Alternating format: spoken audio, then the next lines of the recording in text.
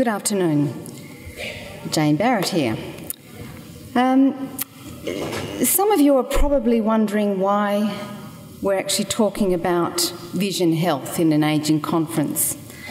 And it's important to set the scene because IFA has been very interested in this area of work for some time now. There are many factors that impact and enable healthy ageing, such as where we live, the lifestyle, decisions that we make, and the conditions that we have, such as chronic conditions such as diabetes and cardiovascular disease. But we also want to consider, you know, what are the safe and effective treatments for those chronic conditions? I think what we need to understand, though, is rooted in ageism is the myth that vision deterioration is just a normal fact of life. And I wonder if I asked you today, how many of you remember when you last had your eyes tested? Was it in the last year? Was it in the last two years? Um, also, whether you had a comprehensive ophthalmological screening. When was the last time that you actually visited and had a conversation with an ophthalmologist? And IFA has asked these things because vision loss is one of the most feared losses in our life. And there's been some good evidence to, to suggest that we fear the loss of vision more than we fear the loss of a limb. So, as we go forward in thinking about healthy ageing, IFA has been very interested in understanding the impact of vision loss in the context of healthy ageing.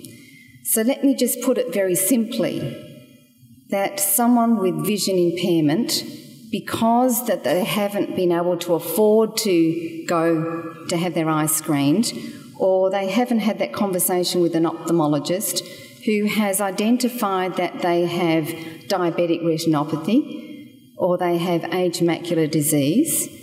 They're living alone, they fall, they're admitted into an acute care setting with a fractured neck of femur or a fractured wrist and because they don't have family and friends around them, because they live in a country area in New South Wales or in Canada or in India, um, they don't have that service provision, that care arrangement to support them to return home.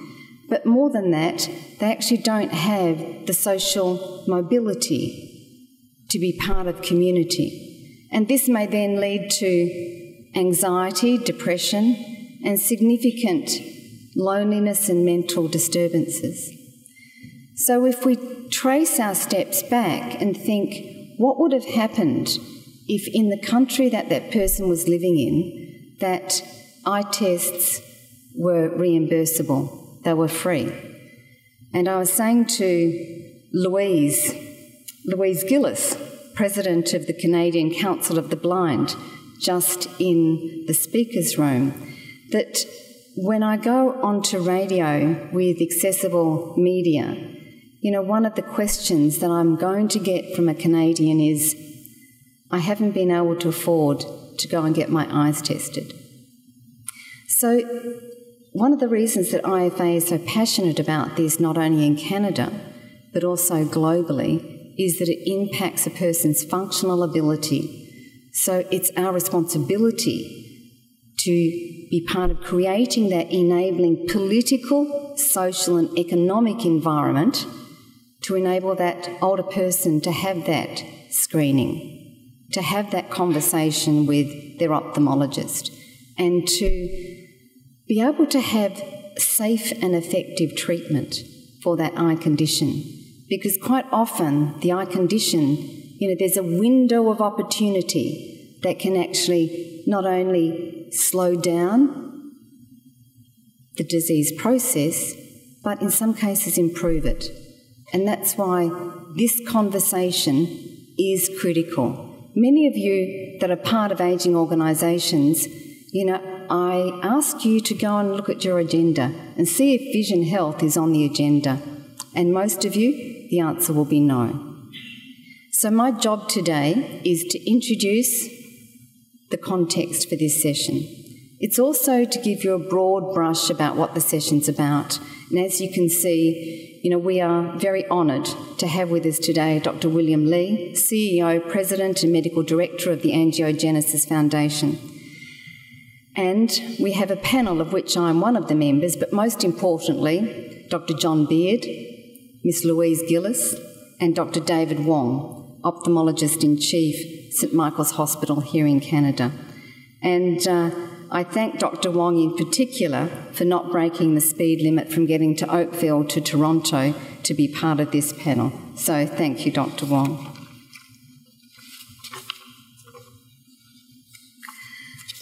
It's now a pleasure to introduce Dr. William Li. Um, Will is a physician.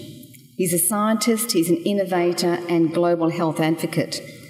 Um, and the words say it all to me. He has an intrepid vision, and you'll hear it when you listen to him. He has this urgency. He's one of these guys that says, Why not?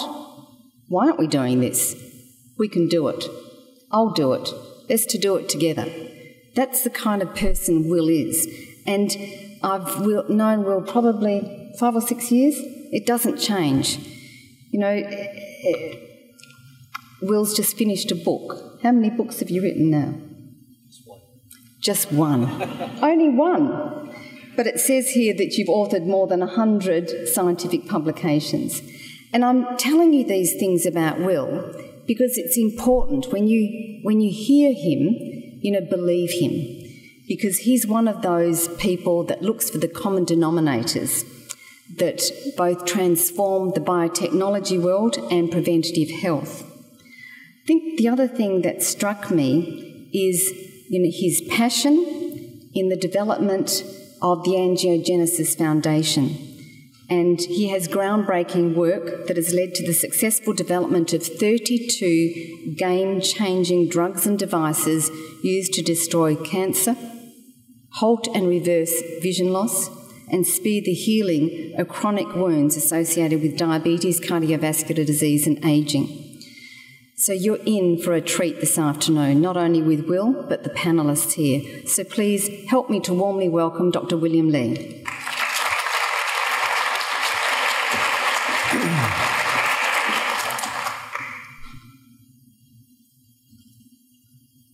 Well, thank you for your kind words, Jane, and I uh, and the opportunity to come and speak today. Um, it's my pleasure to. Uh, give you an address that is uh, in the theme of aging, but looking at the problems of vision. And I want to thank the International Federation of Aging for organizing uh, the entire, the totality of the events and for Jane's vision.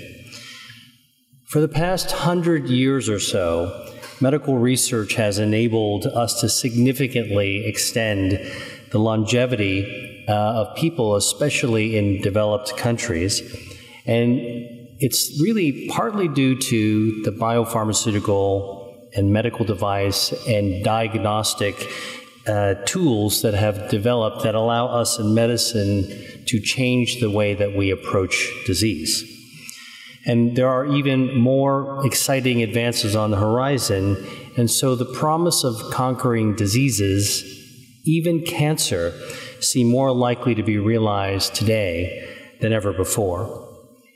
But as the world population has grown to more than 7.6 billion, and the proportion of the older population is also increasing, we have to focus our attention on the more than 600 million people over the age of 65 and their needs, which includes vision. By 2050, that number will be about 1.6 billion worldwide. So this is a problem that is actually going to grow and needs that are also going to grow. So at the sessions throughout this conference, there have been some pretty provocative and important issues that have been raised. For example, how are we going to ensure that members of our aging population are going to have fulfilling lives and not just longer lives? How will we ensure that the faculties that they have, not only physical but also mental, cognitive, um, are going to be fully maintained to the length that's possible?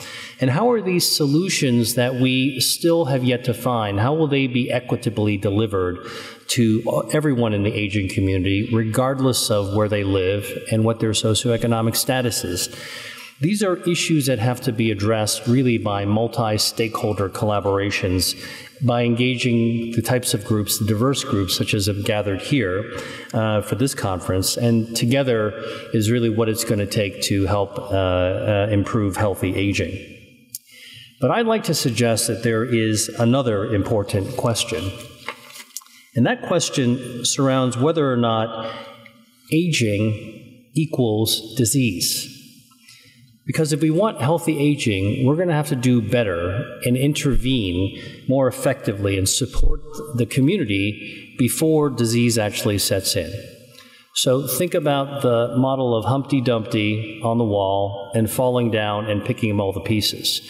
If we approach aging just by looking at the egg after it's broken and trying to figure out how to put it together, we've missed the opportunity to actually look at the intact egg to figure out how to adjust it so it's sitting better on the wall so it won't fall.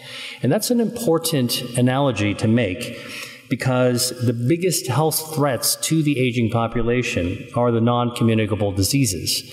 For example, cardiovascular disease. Um, uh, which includes heart attack, stroke, uh, uh, diabetes, uh, cancer, and of course also neurodegenerative diseases. And here's the rub these are killers that we don't know how to cure, even in the younger population. And so it's not like we have a solution for younger ages. We just need to find a way to get them to an older population. We don't even quite know how to deal with them uh, among the youthful uh, segment of the population. So we need to take an entirely different approach. And uh, to understand how to actually achieve healthy aging. And there are some very important clues to follow, I believe.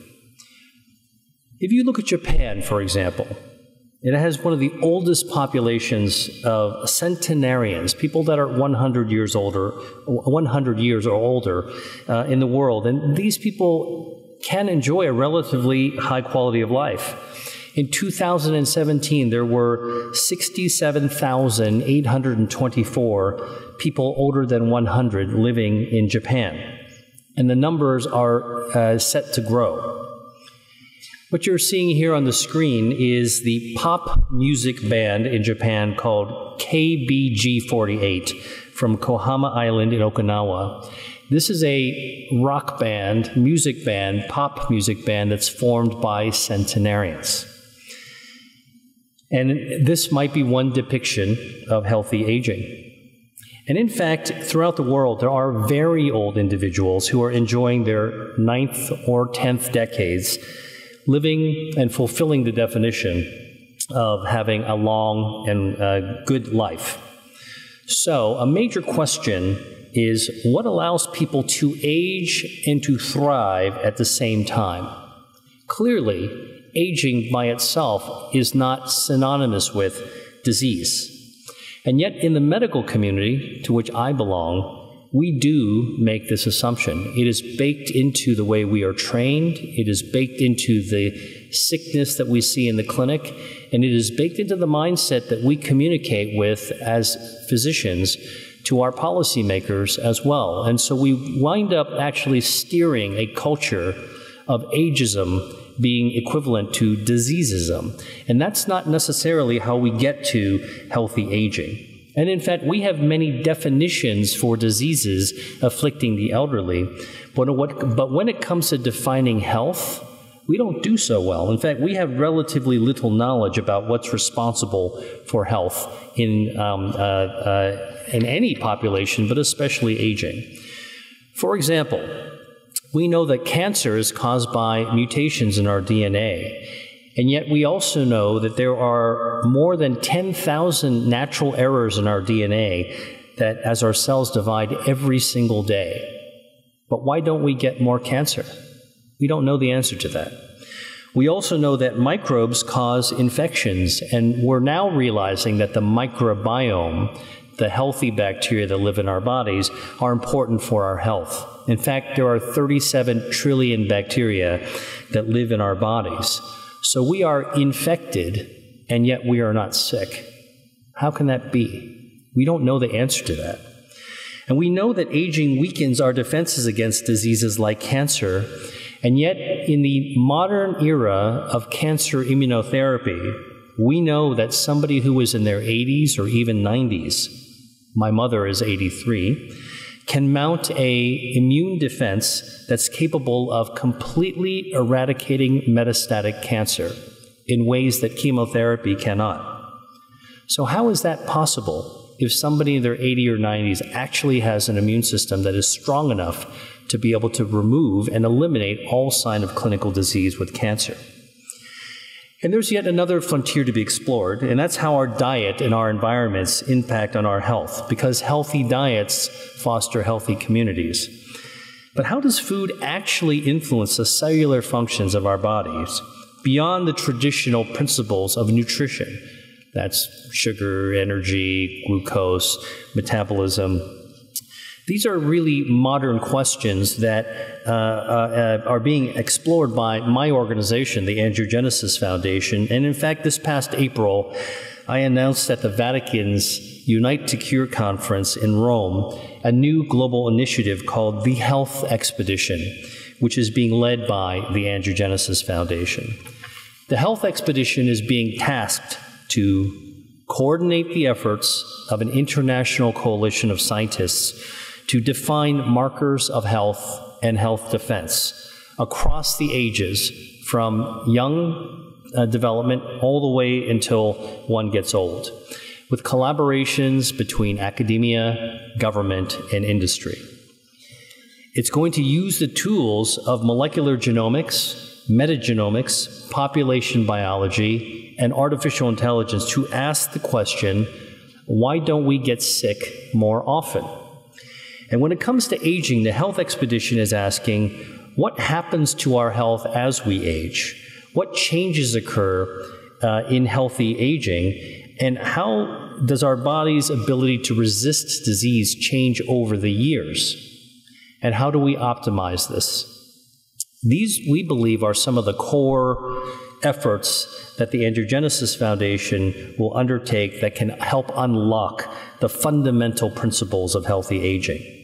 And in many ways, it's a rethink of the idea of healthy aging because we're interested in understanding what are the health defense systems that protect us as we go, get older, and not only what are the diseases that strike us um, as we age. Defense is pretty easy to understand in almost every sector of our lives.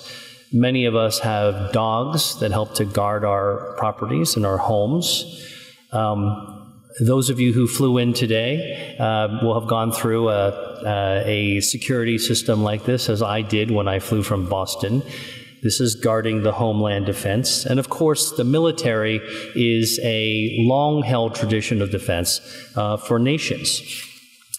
But when we think of um, health defense in the body, we think of aging in terms of five health defenses that we think form part of the pillars of health.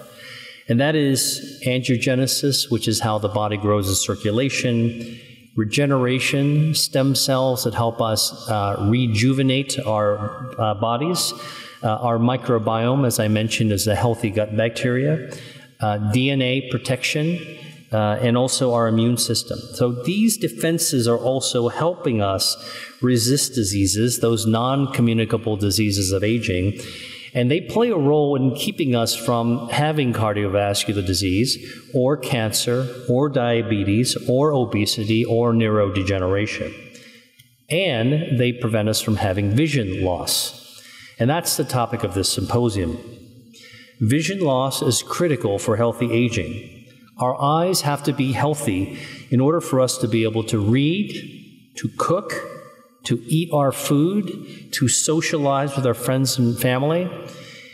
And healthy vision is critical for us to be able to self manage our diseases, for us to be able to check our blood sugar, for us to be able to inject our insulin, for us to be able to read which bottle contains our blood pressure medicine, for us to be able to remember from the calendar what day we are actually going to our follow up exam with our doctor, including our eye doctor.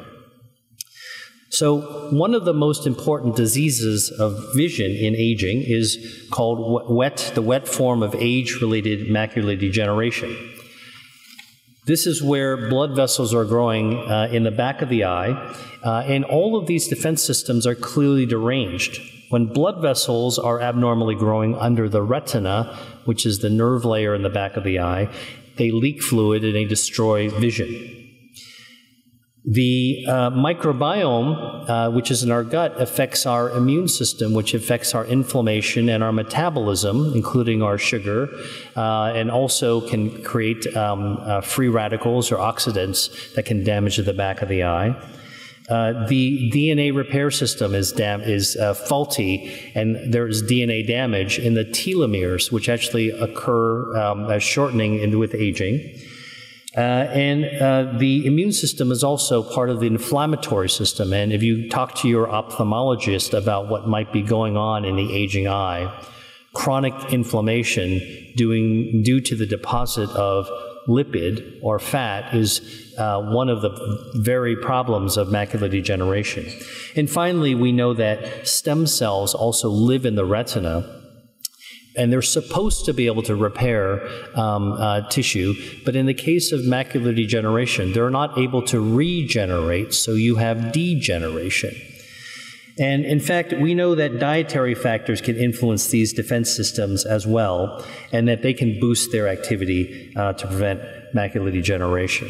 Now, the stem cells are actually starting to show that they might have some benefit. In fact, in March of this spring, uh, it was announced that there were two patients uh, in a phase one early clinical trial who received a stem cell patch with in patient and they had macular degeneration and it was able to assist them in restoring their reading capacity.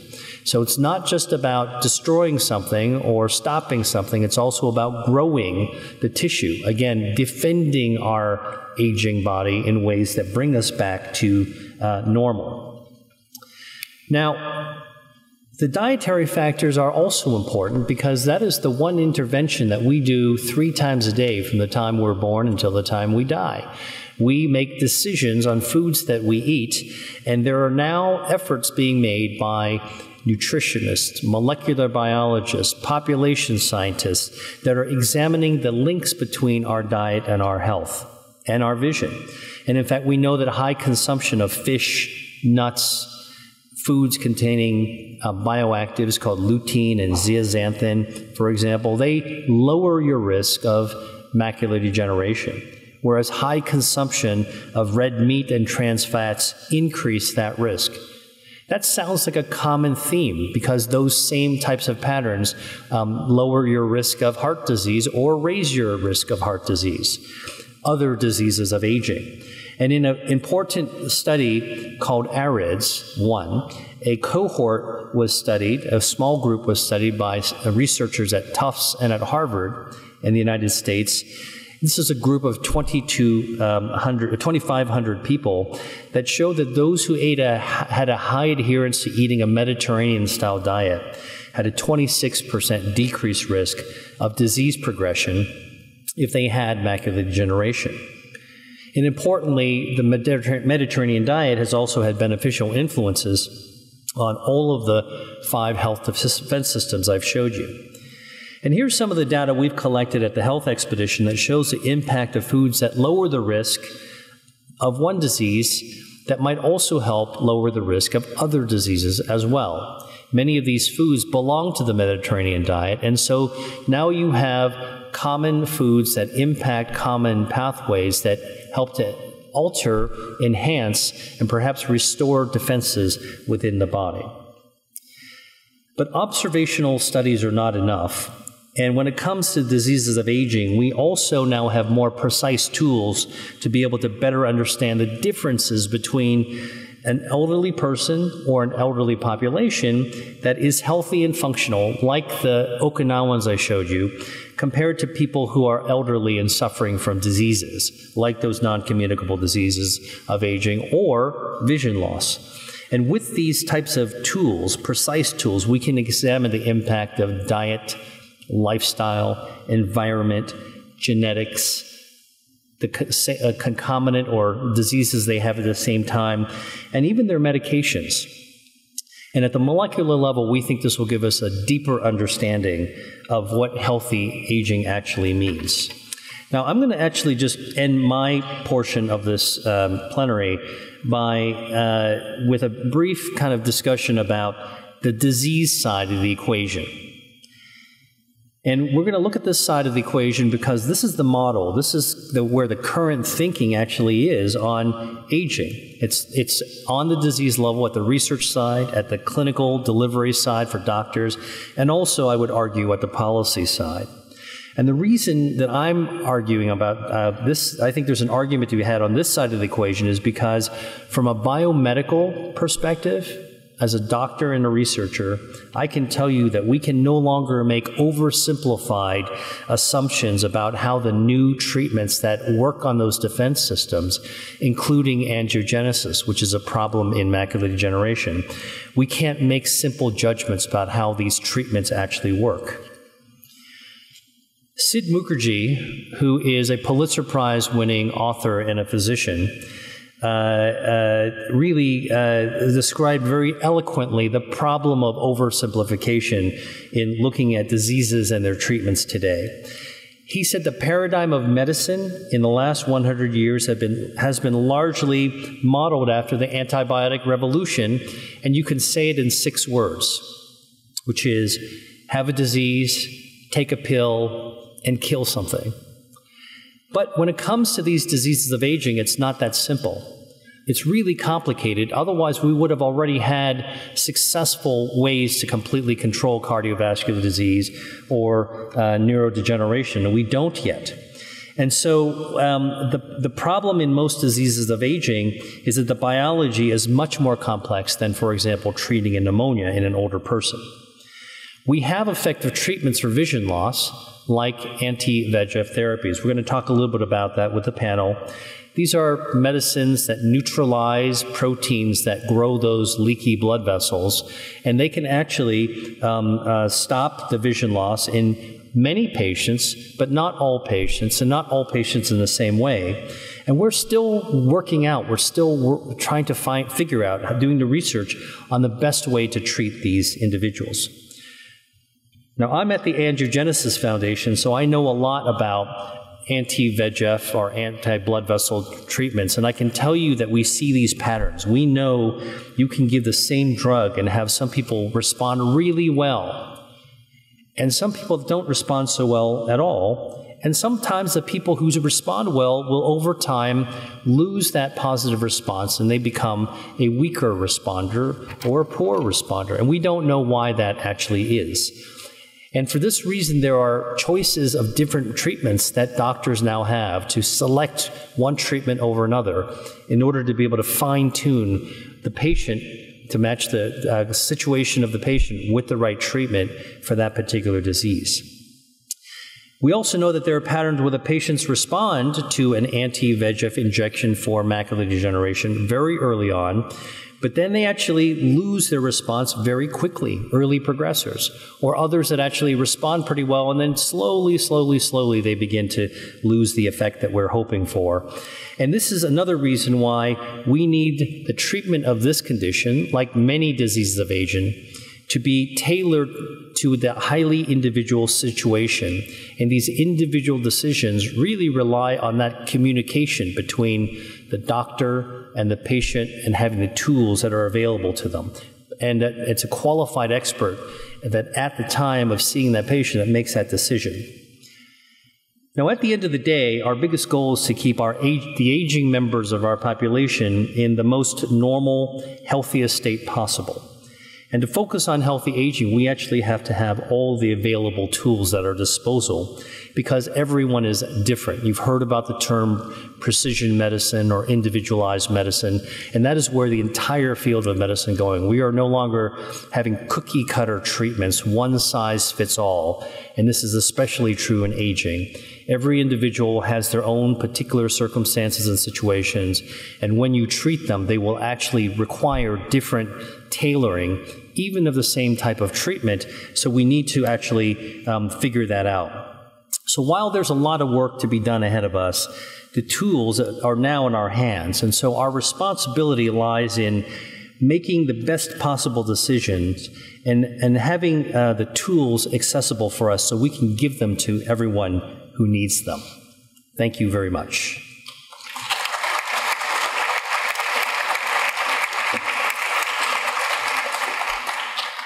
So, we're going to now go to a panel discussion to begin discussing uh, more specifically the challenges of vision loss in aging and some of the policies um, that are uh, being uh, uh in place and being constructed and some of the dilemmas that exist we have Dr. Wong, who is a retinal specialist, an eye doctor, uh, um, uh, Jane Barratt, who has been an advocate and a champion for all the diseases of aging. We've got John Beard, who is uh, the director of aging at the World Health Organization. Of course, um, broadly speaking, uh, the mandate on aging. Louise Gillis, who is the president um, of a vision organization representing the interests of patients. I can't think of a better group to actually bring together uh, to be able to look at um, three different themes that we're going to have some interactive conversation and hopefully some lively discussion about that I'm going to moderate. One has to do with just the issues of vision loss in the aging population, including the medical and some of the biology aspects. The other one is really about access and having those tools that I mentioned and, and choice. And then the third is the issue about policy and how policies are derived and how the policies that are made impact on lives. So I'd like to maybe start with uh, Dr. Wong uh, uh, and have him kind of, as an um, ophthalmologist, uh, tell us a little bit about uh, here in Canada what are some of the global issues of vision loss from aging and what we're able to do with the treatments at hand, those tools I was talking about, and how you how that impacts how you service and provide help to your patients. Well, th- thank you, William, for the, those questions. You know, as you line, uh, outlined in your, your, your talk there, um, vision is very important, and everyone here is looking at us up here, and you're using your vision, and it's all that independence.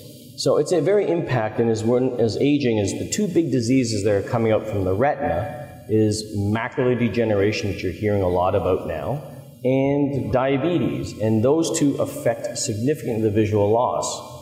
Years ago, we did not have great treatments for it. So our our treatment strategies back then was to preserve or limit the visual loss. And I can tell you when I started, it was like, okay, we're going to, hopefully in five years, you won't be legally blind type attitude. Whereas today, with the technology and all that's come forth, we're actually saying we can actually completely, hopefully, stabilize your vision and long term even improve your vision. And that's through these new drugs, and they're called biologics. And these are drugs made from biological materials that we use, and it's kind of scary. We kind of think now we actually inject these into the eye, and it works fantastic. Like this is the time when I actually said, actually doing something where I can improve someone's vision uh, to the point where they can go back and drive a car. They can read. They can see their grandchildren. Those are things that 20 years ago we would not do. So the impact, I think, with these biologics, these injections, these new drugs are fantastic. And they are really the, the, the forefront of where we're going to be moving towards uh, our care.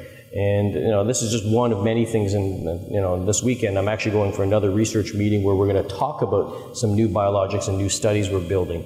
So I think that it's exciting future that we do have these biologics, but the visual loss is quite significant uh, if you don't use these these medications. So I think the impact uh, is, is significant that we're changing.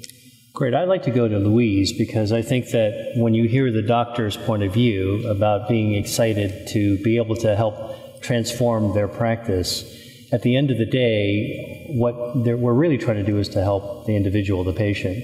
So, Louise, from your perspective, what you've seen over the course of your work in vision, um, can you talk to us a little bit about how, how a patient reacts or responds to what you just heard Dr. Wong talk about? Yes, sure. Um, first off, I want to explain a little bit about my organization. I'm calling it my because I am the president. it's the Canadian Council of the Blind. We're the largest membership based organization in Canada. And our mandate is to promote uh, good, healthy living, help those who have already lost their vision, but also illness prevention and health promotion. So, one of the things, as Dr. Wong mentioned, 20 years ago, if the current drugs were available, I would not be sitting up here with you folks. I'd be sitting down there, maybe, in a different perspective. That was not available for me at that time. Therefore, at, uh, first off, at the age of a number of years ago, I lost vision in one eye, and 22 years ago, I lost it in the second eye. So that is a fundamental change to my entire life and independence. But now we have the choice of uh, uh, getting better treatment and making sure that the products that are available to us the biologics that Dr. Wong mentioned are available and prescribed and with the consent and the consultation with their ophthalmologist that we get the choice to the proper treatment in the proper length of time. And that's one of the biggest problems that we have run across that sometimes that doesn't happen, that we are made to, to take another medication maybe that is not as effective or not as well known and we can lose vision just waiting for the, the right, the, the proper drugs to be administered. And by that time, it can often be too late to, uh, to carry on and improve our sight. Great. Well, so we've heard from the individual, so the, the doctor, the patient, and so now I actually want to uh, really address uh, both uh, Dr. Beard and uh, Dr. Barratt um, you know, the needs of the one sometimes are at odds or counterpoise against the needs of the many, simply because of the scale of dealing with larger populations. And so, um, maybe John, you could start you know, from the from your vantage point. Um, vision is one, only one of many important uh, issues that um, WHO has to deal with, and certainly only one piece of the problem uh, for aging. Um, based on sort of what you've heard on the needs of the individual, how, how does that impact, you know, sort of on an organizational level at WHO? How, how, does, how, do, how do you see vision fitting into the larger equation? Okay, well, obviously, vision is absolutely critical, and as we've spoken about over this conference, we view healthy aging as the um, ability to um, be and to do the things that you have reason to value. And, and, vision is absolutely critical to some of those we've heard about them, your ability to read, to drive, and so on. It also, if you lose uh, your, uh, your vision, it puts at risk many of the other capacities which are critical uh, to ability. So if you can't see, you become less physically active. Uh, and so you can have locomotor implications and, and implications in terms of the relationships you build, and you, uh, you can become isolated and become depressed. So it's, a, it's an absolutely critical issue. And just to give you an idea of, uh, of the scope, the scale of this globally, um, it's estimated that over 250 million people globally uh, have moderate or severe visual impairment. 200, a quarter of a billion people. Uh, the vast majority of them are older people, um, and 80% Oh, and the vast majority of those conditions, as we've already heard, are actually now treatable. But over 80% are not receiving any treatment whatsoever. Uh, and so I think that globally, the real challenge for us is trying to think about how we can start to provide access to the treatments which we're going to hear about in some of the poorer settings of, of the world. And those poorer settings aren't necessarily just in poor countries. Uh, because we also have to think, even in rich countries, there's a great diversity uh, of access, and there's often inequities in, in that access. And we start to, we, we, need to be able to think about how, even in the rich world, we can change health systems to make sure that uh, everybody can have access to these wonderful new medicines, which really can have a major impact on people's abilities. And Jane, so uh, sort of thinking about this from the International Federation of Aging's perspective, these um, breakthrough treatments that have the potential to change so many lives for the better, uh, as Dr. Beard just uh, described, um, uh, are uh, treatments that need to be administered in the doctor's office. They require particular uh, expertise and skill to be able to deliver. They're still relatively new, and like many of the new drugs, they're difficult to actually disperse to large populations, especially, and again, even in developed countries, to communities that are naturally underserved, they become almost impossible to get within reach. And so, from your perspective, um, what is the, um, and from the IFA's perspective, what is it like to have this dilemma of having something that's within reach to, to, to some on one hand, but not uh, within reach to others. And how, what are you doing about it? You know, Will, we're sitting here talking about that this is such a serious problem. You know, a quarter of a billion people that have some serious vision impairment around the world. And yet, government don't see it as serious to invest in not effective treatment, let's actually just start with screening.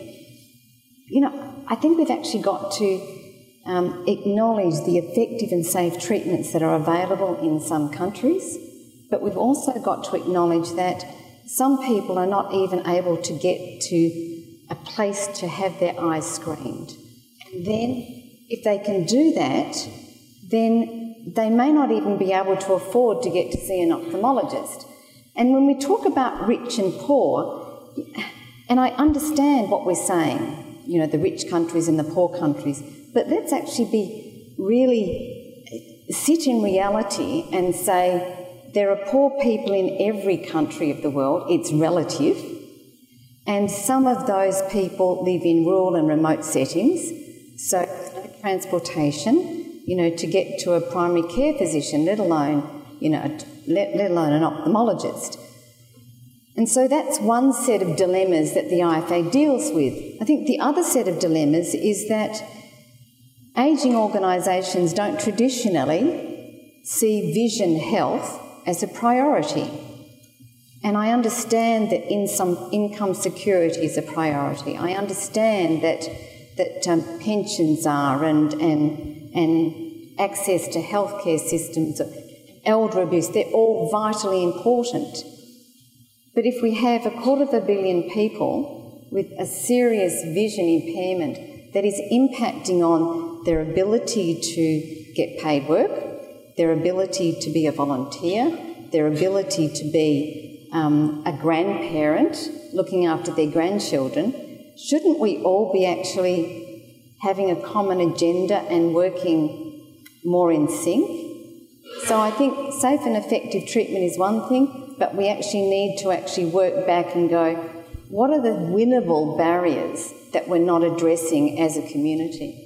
Can, can I also say, Will, yeah, please, because you, you, said something, I, I can't remember what it was, but I think we have to be very careful not to over medicalise this issue.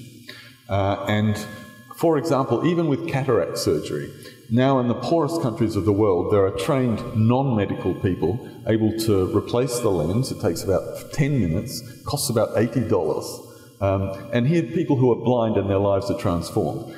And I know that some of these new interventions require careful supervision, certainly at this point in time. But I think we've got to be careful that we don't channel them into a mode of delivery that can only be delivered in that way. And I think we need to be thinking in innovative ways about how these same medications can be given in other circumstances by other people that become affordable and accessible. David, what do you think about that? Yeah. Excellent point. I think both of you bring up very important points.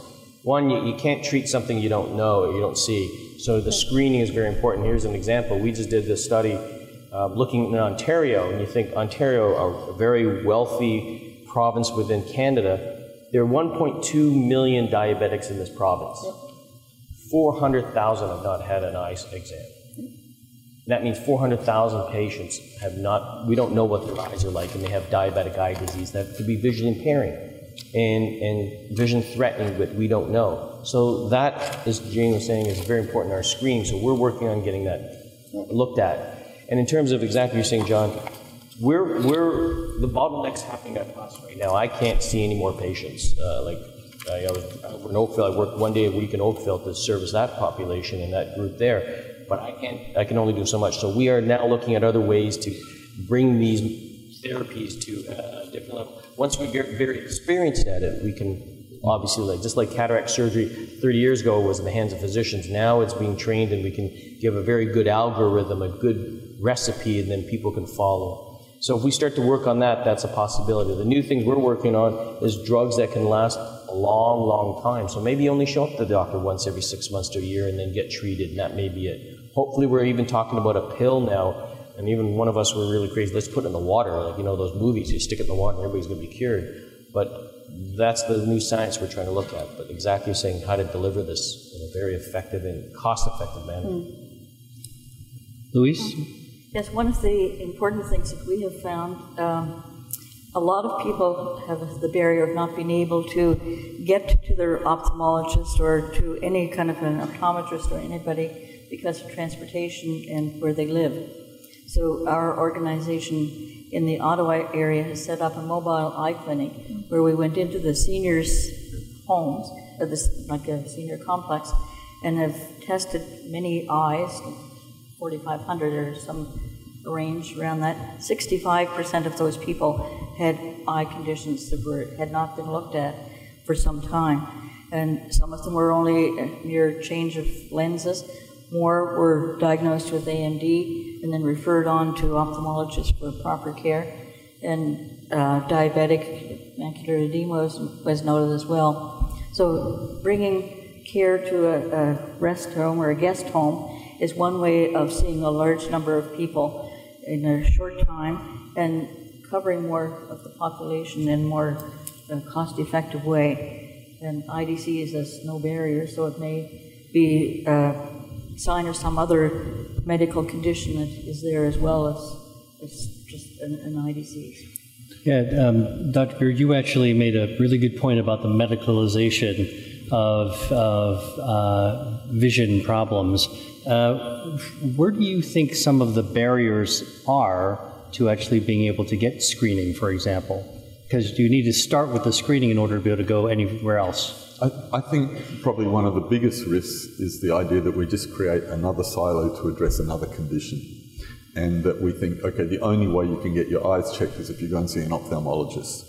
Uh, I think certainly, and, and obviously it's different in different situations, but what we need to be thinking of is much more integrated care and how we embed eye screening in part of a holistic assessment of an older person.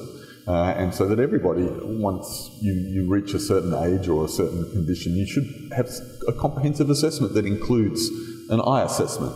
And it may be that that's a screening eye assessment, and then after it detects, you know, that maybe your, your, your vision is, is declining and, we, and you need to be seen, you might get referred to a more specialist service. But if we're going to rely on, okay, let's try and set up a, a series and, and make sure that every older person has an eye check, and think of that as being isolated from the rest of their care, I, I don't think we're going to succeed. And I, I, think all that does is disintegrate care. Uh, we end up with every condition being treated independently uh, and people on multiple drugs, mul- multiple treatments, some of which interact, and we, we end up with, uh, with far from ideal care. And, and often, as, as we know, you know, the eye conditions are related to diabetes or other uh, issues, and we need to see the whole person, not just see their eye.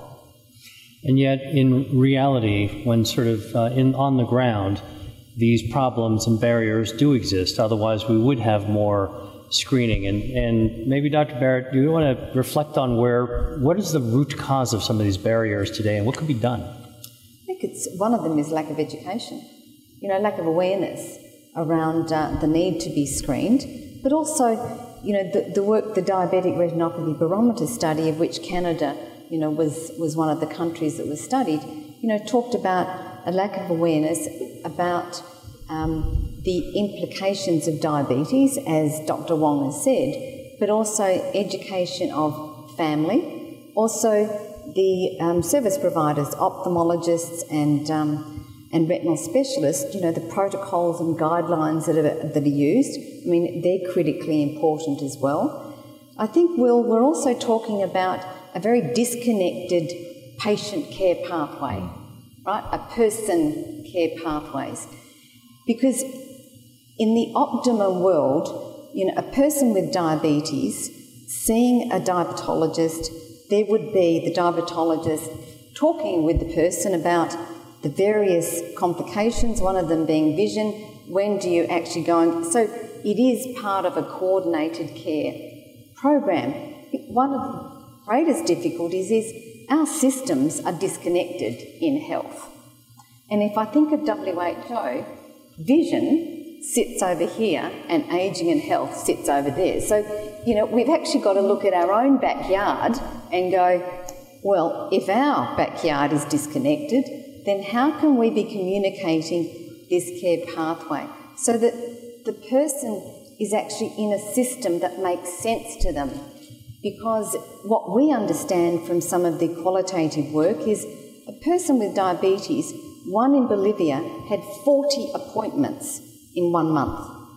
Now, give me strength to try and organise myself to 40 appointments to diabetologists, to cardiologists, you know, to ophthalmologists. If I have some vision changes and I've got no family, how do I do that? So the system is disconnected, and it's part of our responsibility to work as IFA does with um, NGOs such as um, CCB and, and ophthalmologists and to actually understand what the goal will be and it's what is the best outcome. And that's where I come back to government. You know, the investment in screening, you know, the short term investment, long term outcomes, productive nation. Louise, uh, from your perspective, have you um, encountered barriers on your on your own, and uh, from your organization's perspective, where are the most uh, important barriers to remove from a government or policy perspective? Well, one of the big barriers, again, is people who are in, not in cities, or not necessarily city centers, are too far away and it's not a cost effective method of getting to see their eye doctors. And because eye disease is, uh, you're probably not going to die from it. So you're going to look after all the other problems, your high blood pressure and those types of things. But the fact that with vision loss, you can have falls and injuries that can eventually cause your death because of, of the, that. And that's a barrier trying to get people to understand, due to lack of education, that eye disease needs to be, your eye exams are very important. And uh, another part is to get the governments to understand that we have to work together on a nationalized strategy, maybe to to help bring that all together so that it's equal across the country. Uh, because many places you get good eye care, and in many other places you don't, because we don't have the physicians that are available to people to, to get the care that they need and to go to the uh, get the treatment that they need, and then the follow-up care with uh, not only eye care, but there is life after vision loss. So we need to be able to work with that as we go along. Uh, what do you think about uh, what Louise was saying in terms of distance? Because this is clearly not only an issue in Canada, but in other parts of the world, it was probably magnified uh, multiple fold. What, what, um, what are your thoughts on helping to address this sort of um, uh, distance gap as a barrier? Because that's not something a policy can do. That's just sheer distance. What, what do we bring the care out from the center? Do we try to bring people from the out and bring them into the to the middle? What, what's the what's what are some solutions? Do you think? Actually, anybody. well, I think one of the things is to, to bring the care to the people because you can one person can look after many people, rather than having many people come to a, place that is going to cost more money. It's cheaper to bring one person a long distance than 20 people a long distance. So, from a screening perspective, perhaps a community health Even worker more than could. a, a screening, like an in-depth screening, so it's not just a very basic screening, but you know, a full service that would be the same as what you would get in the, at the very least, in an optometrist's office. Right. Right. John, what do you, what do you sort of No, I, I think it's absolutely critical, not just for, for vision, but for all sorts of health issues, that we actually provide the services as close as possible to where the person lives. That has a number of implications because if you want to do that, you actually have to have a totally different approach to the health workforce. Um, because you'll need a lot of people who are very mobile, and you know we have a limited number of ophthalmologists or whatever the specialty is. So this is where, again where it comes back to exploring the roles that people play and what can, they can do. And secondly, I think we, we shouldn't overlook the role of technology, and I think we sometimes get stuck in the way things are done today. I, I don't know how many times a day I use my mobile phone. And don't tell me there's not a way that my mobile phone can be attesting, uh, testing my visual acuity as I'm doing that. There must be some AI algorithm that which can look at how close I hold it or how long it takes me to read something, and is that changing? I mean, I think that we have to think about how technology may help us do some of the things which previously have been done by people, and, and not that you have to wear a special device, but it's just integrated into the way we do live our normal lives with phones and things like that. So I think we need to think outside of the what's delivered now and invent new ways of doing it. I think it's harder in the rich world because we often have entrenched territories, and, and, and uh, sometimes in places where there's nothing, it's easy, easier to create something because you don't have those competing interests. So, um, for Dr. Wong, you know, you're somebody that is able to do the screening, uh, evaluations, and then you can take it as far forward, even into future uh, treatments that are still under testing. What is it that you're able to do, and your colleagues in ophthalmology are able to do, that really aren't realistic to be able to bring out to closer to where people live, or you know, what is it that where where does that dominion of the specialist still lie, given the fact that we're all trying to, you know, find the right setting of care? Uh, it's a great question in terms of trying. Where's that balance, right? I think that's the key. How, you know, if you look years ago, all the specialists of everything were in the teaching hospitals. That's where the power of the education, the research was. But as time has progressed, we've educated a lot of specialists that go out to the communities, and you're starting to see some fantastic work done out in the communities, and even now the research. So it is continuing out there. So what I think the big thing is, what we do at the university, and especially at St. Mike's, where we're the largest retina group in the country, is we think outside the box. So that's one of the things we do well. And um, we think of that next territory to go to. So that's where we would look at things that are don't fit in the right picture. Something's not quite right. Uh, all of us are individuals. Every medicine doesn't always work on us exactly the same way. Why is that? So that's the thing that we would do. We bring out. But I think what we can do is, what John was saying, is your phone. So all these new technologies, we've looked at looking at taking a vision with the phone and how to accurately do that and reproduce it, even using the phone's camera to take a picture of the back or front of the eye, and send that all into your doctor who, or some algorithm that can look at it and say, yes, you go got to see somebody, or you know what, that's not so urgent right now, and put that in perspective. Um, that's the new technology. That's how we're going to get out there because there's clearly we're not producing enough uh, the medical people to, to supply the necessary care around around in Canada and even in the world. So it's going to be the technology, but the idea of thinking out of the box, that's what we can do best. So, just sort of to, you know, in the last part of this discussion, and we're going to open this up to questions from the audience. We have a couple of mics down here. I do want to talk about this idea of, of treatment uh, that uh, you've described at the very beginning, Dr. Wong, which is being able to accomplish something that couldn't have been done before that is transformative. And I alluded to that in my talk as well, which is that we have these tools that we don't, uh, we're not 100% certain exactly how to use them, which is why we have multiple uh, tools.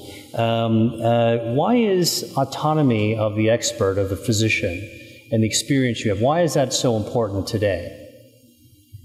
Just as we were saying earlier, is everybody's different. Um, think about it like how I always say to patients, it's like your shoe.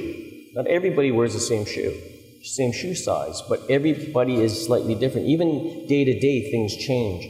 And so, yes, there may be a, a way we say the majority of patients will be treated with this technique or this medicine, medicine, but if they don't succeed or there's a problem, as you were showing, people don't respond, that's where we have to look outside and say, okay, why did they respond? And that's why we have to tailor the new treatments or some other treatment to get to that point of where we agree with the patient, talking with patients and saying, is this what we want to go to? This is where we're going to try to go, and that's where we try to tailor to. But hasn't the CADTH, the authorities, actually recently come up with a recommendation that tries to restrict the autonomy? I think, like many things in, in governments, they try to standardize things. Standardization is, is important, but there's got to be a limit to that standardization. There's got to be at some point saying, you know what, this is not working. And so, or the physician or the caregiver has got to make some decisions what's best for the patient. Not everything is, like, not every drug is right for every patient. And you have to decide maybe where they're located, what their, their, their nutritional status, all these other factors have to come into play. And Jane, you know, maybe you can, maybe you can help us flesh a little bit of context out for the whole CADTH decision. For not everybody might be familiar with it. Can sure. you give us an overview? Sure. Look, you know, the, the IFA stands by our position that it is critically important that an ophthalmologist, a doctor, any speciality, you know, should be able to determine the most effective and safe treatment for the person in front of them. And we have a situation in Ontario where there was a recommendation um, from a body known as CADTH, you know, to, it was a recommendation, it hasn't been implemented. Um, it's a recommendation whereby um, the physician um, may have to use a particular treatment which has not been scientifically proven to be safe and effective um, for a certain group of patients. Now, IFA does not um, uh, engage in the scientific effectiveness of drugs, treatments. That's not our domain. That's the domain of um, you know, someone like Dr. Wong. But we do stand by the position that um, an older person has the right to be part of the conversation with a specialist about the most effective and safe treatment for their condition. And so that's one of the reasons why IFA is, is interested in working with organisations such as um, CCB and CNIB and FFB and other ageing organisations because it's about the tipping point, isn't it? It's about the tipping point of um, not acknowledging, you know, the, the abilities of these physicians to determine the appropriate treatment. And Louise, are, from your perspective, are you aware, or how have you become aware that there might be restrictions actually on the treatments that are being made uh, that might limit what it is that might be required for Dr. Wong to make the proper decision for a patient? How are you hearing about that, and what is your response? Uh, yes, we're quite aware of it, and as Jane described, we're quite involved with it as well. And the bottom line in our mind, our organization's mind, is that there has to be choice there. There has to be choice of what the ophthalmologist is providing for, in his or her opinion, as what the best treatment for that patient is. And also, the patient has to be fully informed of all the choices that are out there. And by fully, I mean totally, you know, not, this is a good drug, just take it. It has to be uh, defining what the side effects could be, how it can, how long, often you have to take it, how all the problems that could arise into the future if you don't take it, and given the right to make the choice with their physician as to the proper medication to take, so, so and what, not to be regulated by. What are you doing to raise awareness on that? We're uh, have many different uh, position statements sent out to government and, and to uh, health organizations, worked with other uh, organizations, often for the blind, to get the message across and um, held education sessions in different uh, cities and towns around the country to educate people. Do you know, and I think the the challenge, the, sorry, Louise, the challenge, Will, is that, that, you know, Canada is unlike Australia, is unlike the US in terms of jurisdictional responsibilities. And so in Canada, it's the jurisdictional responsibility, you know, in Ontario, it's provincial. Um, and so different provinces are doing different things. And so what we have to do is just be very clear about what the message is. And the IFA has joined with CCB and many others in the ICU campaign because way back we're actually having to, you know, educate, raise awareness about the importance of um, screening, treatments, etc., and then go forward from there. Um, this is not about a negotiation with a payer. This is about saying that every single person deserves the right to safe and effective treatment and the conversation with the appropriate specialist to determine that treatment. Because that links to function, doesn't it? It does. And, and Dr. Wong, do you think that sort of financial uh, considerations are really the primary driver for trying to restrict the use of treatments? Like all technologies, and, and it costs money. And so the question, who's the payer and who's paying it? At the end of the day, my, as a physician, my allegiance is to the patient. I 100% have to protect that patient. And if it was me, this is what I would want. But there are things going on, unfortunately, now that they're trying to change that adjustment to say the allegiance is a cost effectiveness, and that's not the way, as a physician, we should be thinking. As that's a second or tertiary care, uh, a second event, that is, we should think about that, but not at the expense of the patient. So, as a physician, that's adamant that we have our allegiance in protecting the patient 100%. And Dr. Beard, you're, you know, obviously WHO is not in the business of restricting or opening gateways for particular medications. And yet, you probably have seen from your vantage point the um, tendencies for government to use cost as a lever in order to be able to manage their treatment options for their communities. So, having heard this discussion, you got important treatments that can be uh, uh, used. There may be some limitations. Um, there's there's already enough difficulty in even getting screening going on, and then there's this sort of geography set of challenges. And um, what's the role of government? What what would motivate, do you think, governments? Or how do they, how do government policymakers reconcile the sort of idea that they need to? What's the gain they have by restricting uh, uh, treatments? I think this is a really complex area. I'll go against the flow a little bit here. And saying this, and, and what I'm going to say is not related to what we're talking about in Canada because I don't know the situation at all. I mean, firstly, I believe very strongly, and WHO believes very strongly in evidence based care. And on key issues, we spend a lot of time and effort to try and identify which interventions work.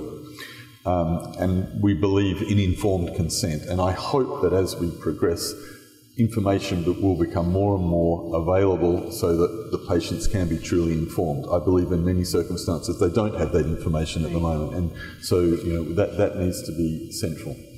Um, I also believe that as we move towards more personalised care, uh, that we need, and the physician needs the flexibility to be able to tailor their treatment to that individual so it's the most effective possible, and it's the physician who's really in the position to make that call. On the other hand, some of the things we're talking about, especially in the early days of development, are incredibly expensive. And sometimes the distinction between the impact that intervention may have and another intervention are very, very small. In some instances, the difference in one patient may actually fund a whole program of, of screening. Um, and, and a government is going to end up, in many cases, especially in a, in a uh, uh, universal health system like Canada, the government is going to have to end up paying. And if it pays here, it can't pay there. So I can understand why they want to be involved and why they, they would somehow want to influence that balance. My experience is that bureaucracies don't often intervene in ways that are actually very, they're normally very clumsy. Uh, and I think it's probably more, uh, the, a better way to approach things is working with the care provider to try and inform them and delegate to them the responsibility, but make sure there's ways of them they're being accountable in their decision making. So it does take some account of the cost. We can't ignore costs, you know. And uh, uh, but on the other hand, again, I've seen governments save money by not doing that, but they still don't invest it over here. Um, so some, somehow we need to do it better. And there's an equation to be had here because in an elderly person who has heart disease and diabetes and other maybe cognitive disorders who um, the difference between being able to see or not see might actually catalyze other catastrophic um, problems simply because they can't self, do self care.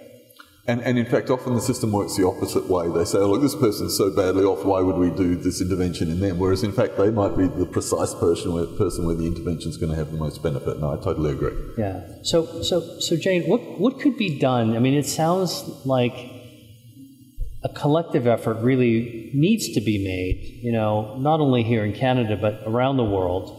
Um, to be able to raise awareness, uh, get stakeholders to um, uh, participate in disseminating care in the best way possible, but also to be able to do that, um, design the algorithm that can help uh, solve that calculus of um, not simply the line item of a cost of a medicine, uh, any, any medicine, frankly, but really what's in the best interest of the patient. If we're going to go to the bat for the patient, the loyalty to the patient, as Dr. Wong said, what are some ways that, from an IFA perspective, that we can actually get together to do something?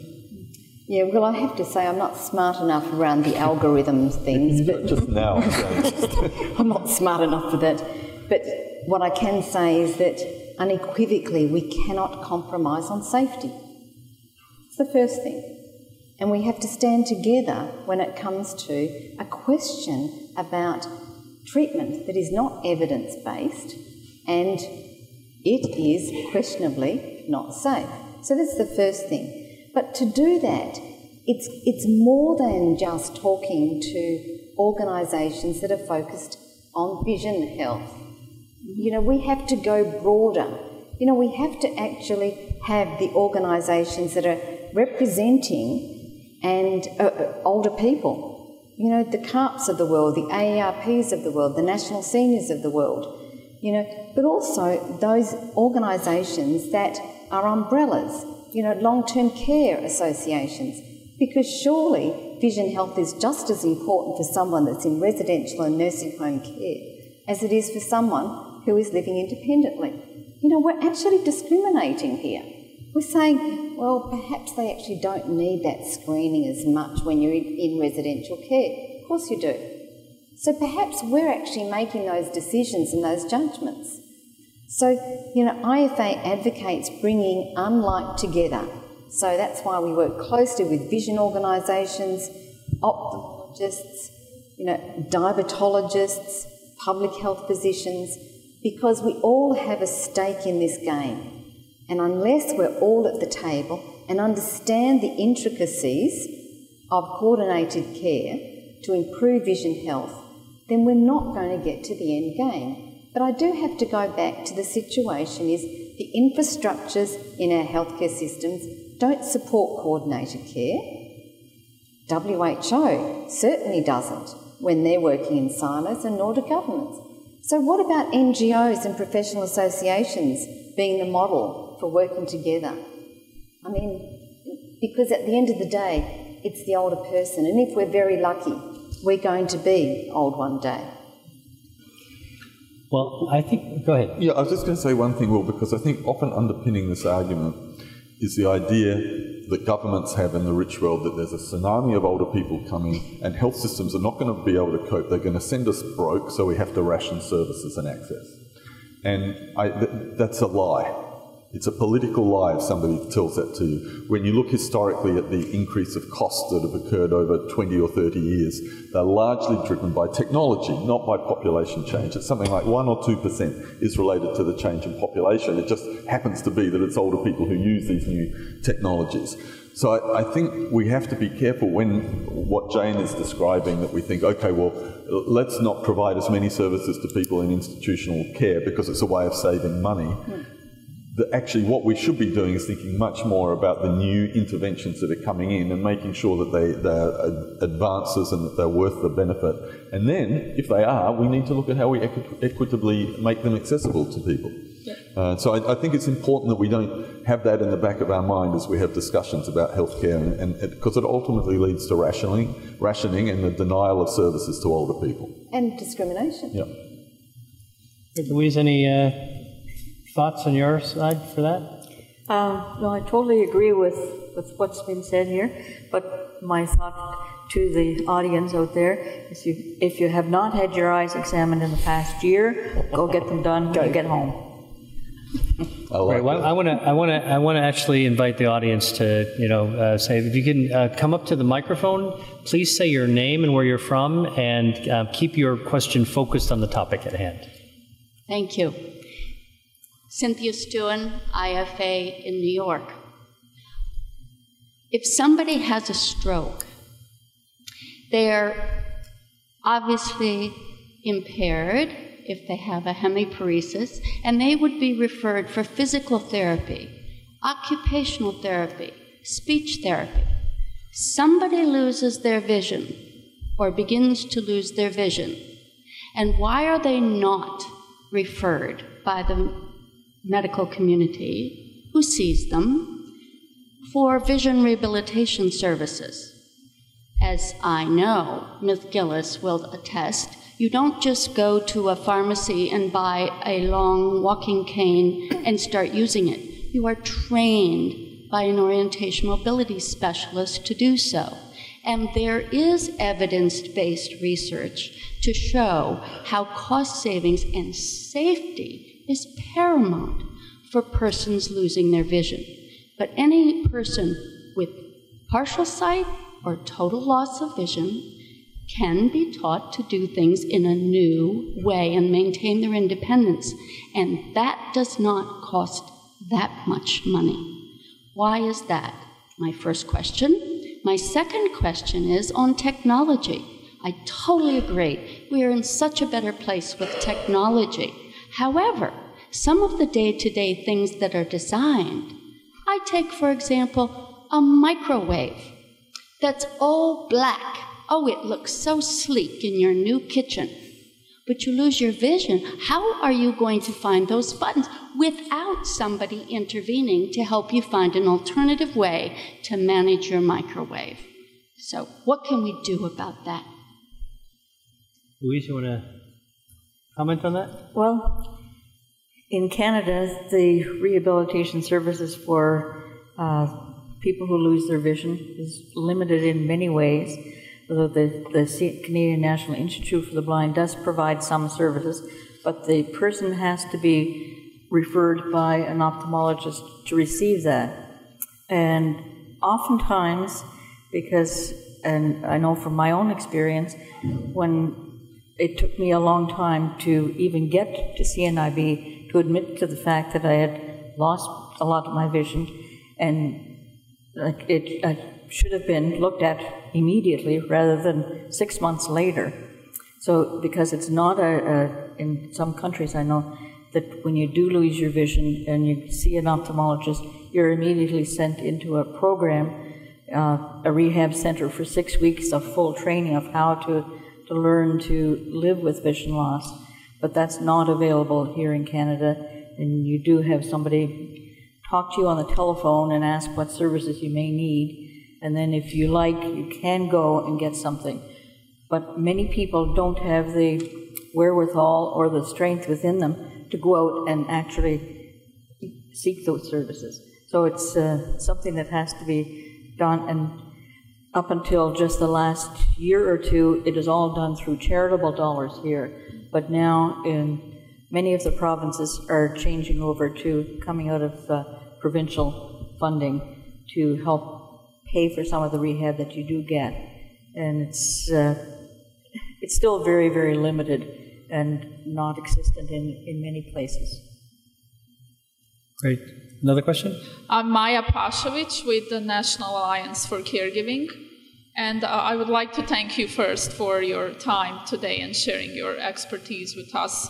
So I have two questions. The first one, I first would like to say that I'm very happy to hear that you uh, highlighted the importance of person-centered care because not every person with uh, a visual loss or any sensory impairment or any type of disability or condition experiences that disability in the same way. And this is one of the biggest misconceptions that we have in the society. So, my first question is how can we get uh, more businesses, the private sector, to uh, stop uh, putting this veil of discrimination and stigmatization on people with visual loss and impairment? For example, if you look at many job descriptions, one of the major requirements is you must have a driver's license, which means that people with visual impairment are completely excluded from even uh, the possibility of applying for that job. And uh, as we know, financial independence is at the core of many disability rights movements across different countries and communities. And the second question is uh, I'm think now looking at the poster behind Dr. Wong, age friendly environments, which is one of the main themes at uh, this conference is how can we uh, come to consensus uh, with the government and the private companies and businesses to create uh, uh, environments that are accessible not only to people without disabilities but also to people with visual impairment and loss how can we make it more walkable for people in big cities, uh, and how can we design and create cities where sidewalks are not being cut to expand space for cars, but how can we make it more accessible for people with visual impairment and visual loss? Jane, Thank are you. aware of any sort of um, initiatives underway to address planning uh, to, uh, to um, help meet the needs of visually impaired? Do you know, it, it, it's, a, it's a great, great couple of questions.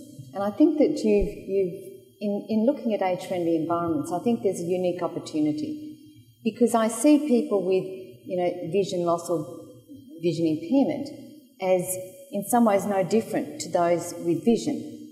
In as much as we need to create an environment that enables you and me and, and John to do what you value. And so I think that there is some answers in there, and that's a movement that's growing. I just want to come back to your, your first question, which I think is, is vital in terms of this conference, and it speaks to the heart of discrimination. And we don't do well whether we're sitting in a disability activist movement or an ageism activist movement to think in a singular way. I think there is a time to look at the similarities and differences of the issues that we are dealing with, we as individuals who are growing older and those who we work with as older people. So there's a conversation that needs to happen. The best way that I've seen um, for change to happen is to, champ- to have champions. And it's not, it's not a single person. You know, if we can partner with businesses, then that influences change. So it's about having those conversations and turning the conversations into action. So I'm very happy to have you at this conference and hear those questions.